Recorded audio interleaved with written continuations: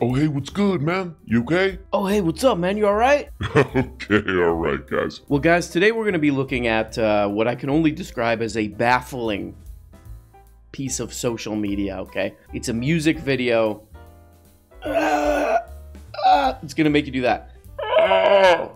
If you're smoking drugs, If you're smoking drugs, disgusting. if you're smoking. left nut. I mean, God bless Kid Rock, but good, good Lord, good Lord, what happened with this music video? You're gonna see, good God, what happened with this music video. Yeah, yeah.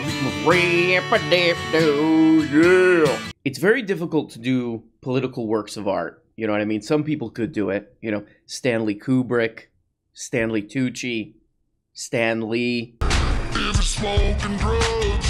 So before we get into this actual video, I kind of bought the Kid Rock mystique. Like I thought Kid Rock was an actual trailer park boy, you know.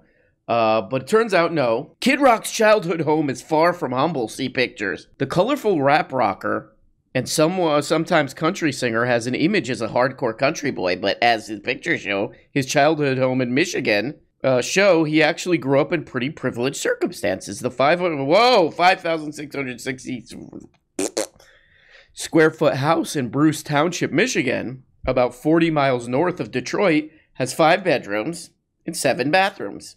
And not only that, turns out his name isn't even Kid Rock. His real name is Kidford T. Rockingham III Esquire at your service. Look at that, man. Shit looking like a plantation, Kid Rock. What is that? What's up with that, man? So Kid Rock is a big MAGA guy. You know, to all my MAGA people all around the nation. When I was a kid, I lived on a plantation. If you're smoking drugs. This is my favorite part right here. our Father who art in heaven. He's like, Do you like doing drugs? Our Father who art in heaven. Ba ba ba, I'm gonna do my shit. That's like how the song goes. Wait a second, hold on. Are you telling my ass that a guy who grew up in a little Lord Fauntleroy mansion became a famous rap rocker and now is pretending to be some kind of rural down home chicken and biscuits? You're telling me that guy's into Trump? No way. No way. wear your mask, take your pills. Now a whole generation's mentally ill. Dr. Fauci, he can suck my wiener, fainting couch in my stately manor, mint juleps on the front porch, shipping cotton up to the north. Okay, guys, come on. So yeah, uh, anyway, Kid Rock dropped this video, new music video, a couple days ago. It's on its way to a mill. It's on the road to a mill, and uh, it's one of the most baffling things I've ever seen. What's the message? What's the message here to this video? Okay, before we get to the video, there is one of the most baffling, like, lyrical choices in this thing, and I urge you to go listen to it. It's at around 38 seconds, okay?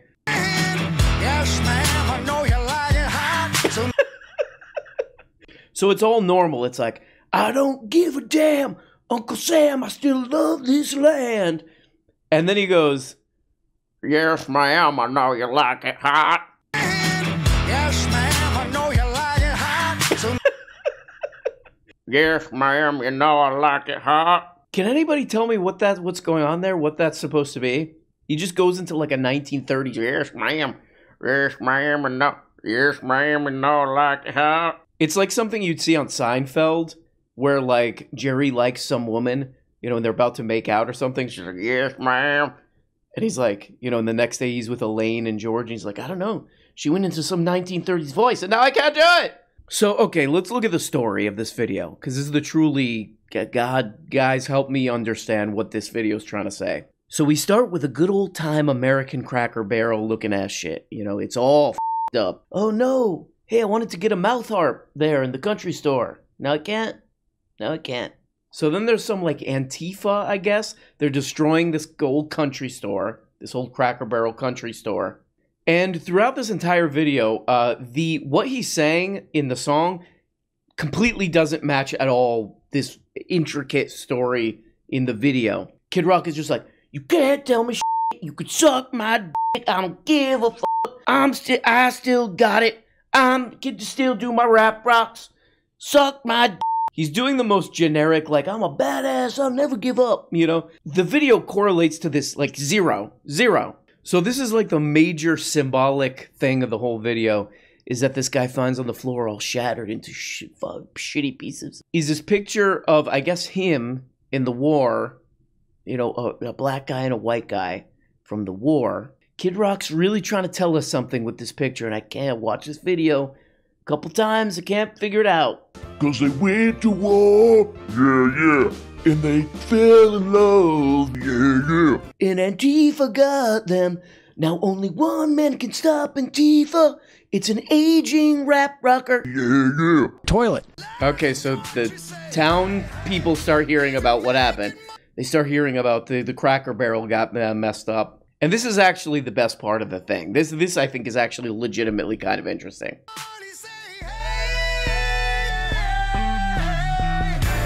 Yeah. But I love this woman. Kid Rock nailed it uh, with the casting on this woman. This, uh, look, I'm not trying to be, uh, you know. Okay, firsthand knowledge that this is a small town archetype, this uh, woman. She's the most beautiful woman in town. She's very tough, no BS from this woman.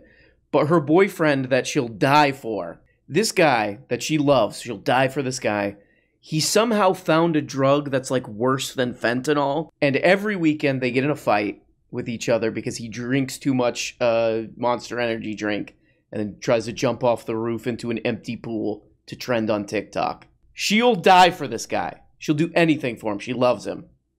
It's beautiful relationship. Show it some respect. Toilet. You think that's funny? yeah. You think that's funny? calm down man. You know the shot of the shotgun tipped you know against the wall just just within child's reach. Seconds from slipping down with the mop behind it you know with a door that's just swung open to the public. We're the people who want guns the most and are the most capable of dealing with that responsibility. yes ma'am and all like how that's what that shot says okay? That's the, what we call the language of film okay you wouldn't get it If you're stoned in love, If you're stoned in love, if you're stoned in love, yeah. Okay, next in the story, look. Oh, look, the Cracker Barrel got fucked up. So they completely militarize themselves. You know, military backpack, a you know Snake Plissken from uh, Escape from New York style buffet of assault rifles. Hey, oh no, some checkerboards and candles got knocked over over at the old general store. Get the rocket launcher. Okay, so to get back to the story, the old country store got disturbed. All right. Now even the Monster Energy drink girlfriend has to get involved. I do wish she would secure that shotgun though. You know, she's like, hey, we got a daycare in the back. You know, we need the kids to have access to that shotgun just in case Dr. Fauci comes in. Also, check this Kid Rock heavily armed. He's like, get away! He's like, get away from my Rolex collection. I mean, this is a little bit of a cell phone on uh, Kid Rock's part because you know the the terrible thing that's going on in this video, the inciting incident, the the scary thing that's happening that he needs five thousand dollars worth of consumer uh, firearms for is a couple of kids knocked over the make your own marmalade kit at the you know the country store. Get away from my Rolex collection. Yeah, can I buy a tank with my rap rock money? Yeah, uh, an I love my grandma sign over at the country store got knocked over. I need a. Can I get a stealth fighter jet? I'm scared. I'm shaking. Uh, yeah, I was just wondering if you could send over Tom Cruise from Top Gun Maverick to save us. What what happened? Oh, some figurines got knocked over over at the country store. Okay, they're on their way. Thank you. Bye. Yep, it's Kid Rock. Bye.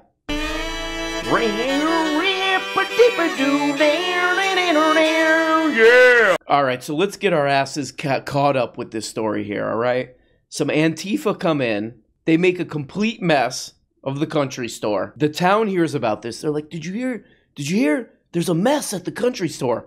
The town arms themselves to the teeth in response to the general store getting messed up. The entire town gets in those like mech suits that that guy from Avatar was wearing. It e- each individual person has one of the. They go over to the general store.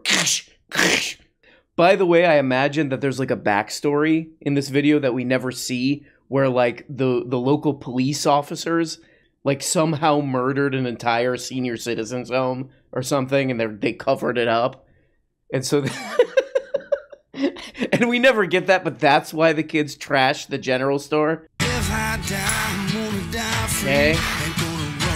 And then he comes out, he comes out, he's like, oh, wow. Also, is it a coincidence that he's the only black guy in town? I mean, look there, and then look, um. I mean, so the shop owner is very excited to see this group of people, you know? I think what really would happen if this was real is he would see the uh, the Monster Energy drink girlfriend, and he would be like, "I don't want any trouble. You get out of here. You you and that boyfriend of yours stay out of." She's like, she's like, "That was just one time. He he's not like that anymore." He's like, "Get on out of here."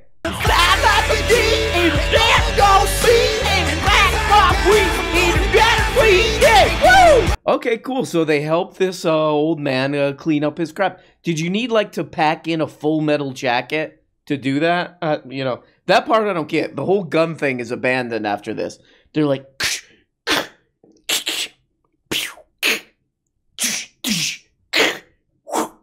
you know, this is a knife.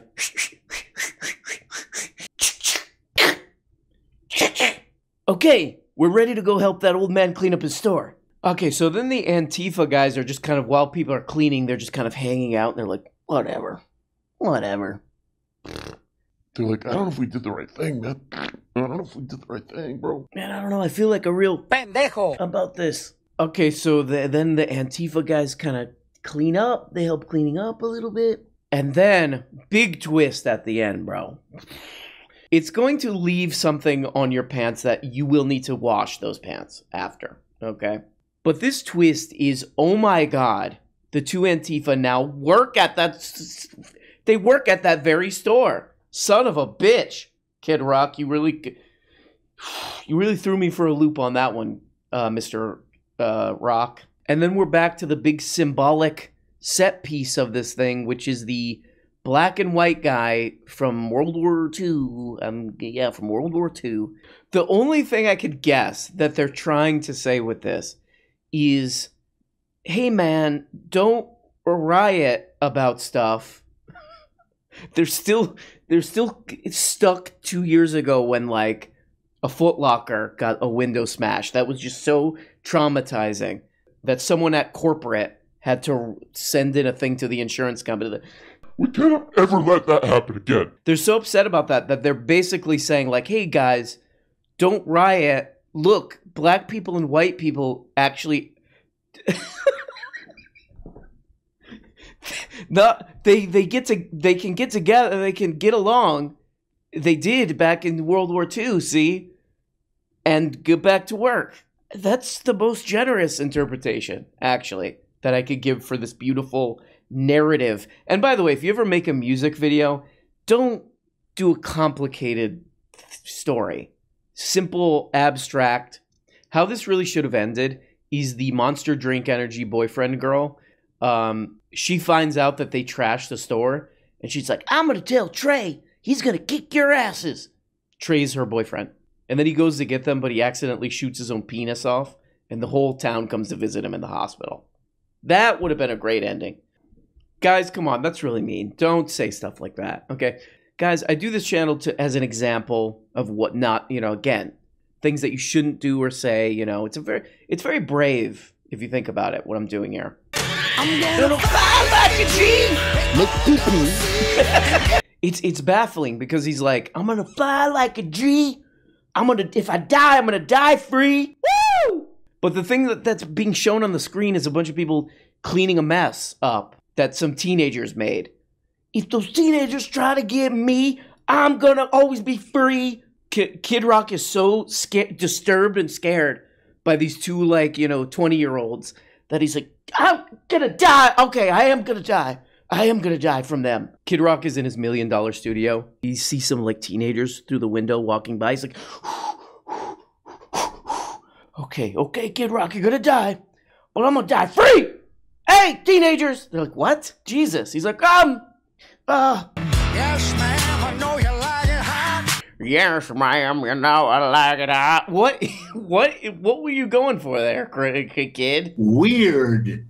It's like when some grade schoolers see like one of their friends talking to a girl in the lunchroom or something. They're, they're like, Oh yes, ma'am, I know you like it. You know, they're like, Yes, ma'am, you know I like it. well, guys, there we go. One of the great artists of our time. You know, he's been a huge smashing success for us since I was a kid, and we love him. Oh my god. Oh my god. Kid Rock is a national treasure, and it's very hard to make political art, you know, art with a political message. And he just, you know, swish. Swish on this one from Kid.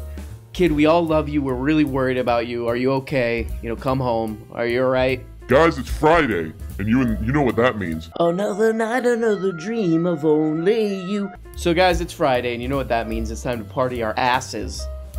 Okay? Off. So, guys, you know what we do on Friday? We look back at all the rest of the days of the week behind us, and we. Wipe your ass with them. Uber, Uber, Uber, Uber, Uber, Uber, Uber, Uber cars. If you're doing this, take. Uber cars. That's in the Bible. Love you guys. Love you guys. Have a good weekend.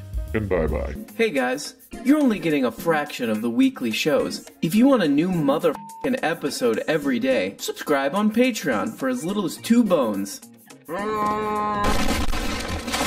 You get the patron only Tuesday and Thursday shows, the Book of Lego show where we look at important books, and the goddamn weekly behind the scenes show. And for only 25 bones, you could become a producer and get your name up here. Look at these people. These people make this show possible. If it wa- if it wasn't for them, nothing. We don't have a show. We got nothing and it's go- and it's garbage Garbage. and we have to just leave. We have to just basically walk away, and we don't even really know where we're walking. That's that's that's the truly troubling part about all this.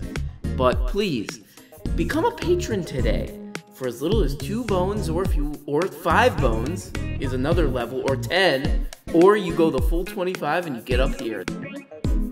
Big special thanks to these people. Love you guys. Love you guys so much.